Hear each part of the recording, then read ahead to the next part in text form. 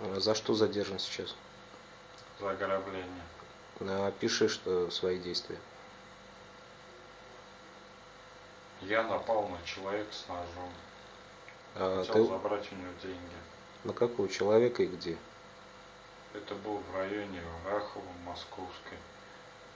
Э, Человек был э, молодая девушка. Вот. Но она зашла во двор. Я зашел за ней в подъезд, и она зашла в лифт, и я там напал за ней. На нее. Так, дальше что произошло? Как она себя вела?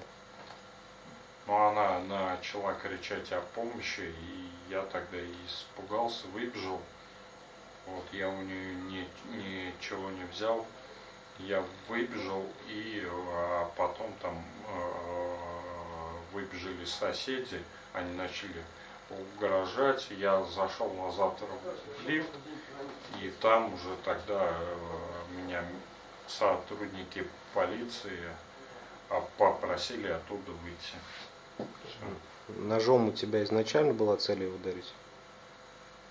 Ну нет.